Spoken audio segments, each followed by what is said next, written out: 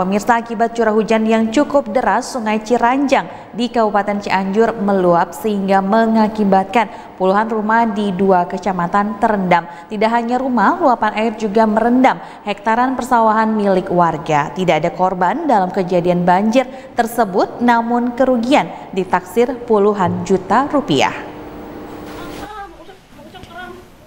Hujan deras yang terjadi dari sore hingga malam hari menyebabkan Sungai Ciranjang, Cianjur, Jawa Barat meluap hingga merendam sekitar 50 rumah warga di dua kecamatan.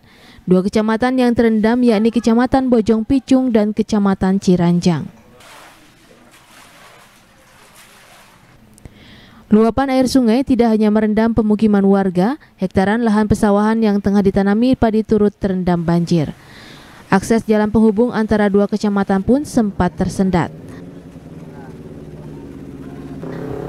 Anggota relawan Tangguh Bencana Ido Sutarman menyatakan pihaknya saat ini tengah melakukan pendataan kerusakan akibat banjir bandang luapan sungai air Ciranjang.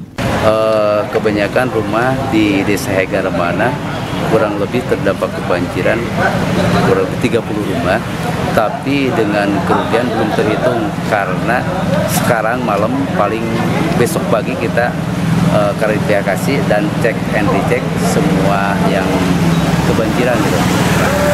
Uh, kalau korban belum teridentifikasi tapi dari itu uh, laporan dari warga belum ada korban. Ada kerusakan nggak Pak rumah? Kerusakan mungkin ada, hmm. tapi belum terhitung jumlah kerugian dan kerusakannya gitu.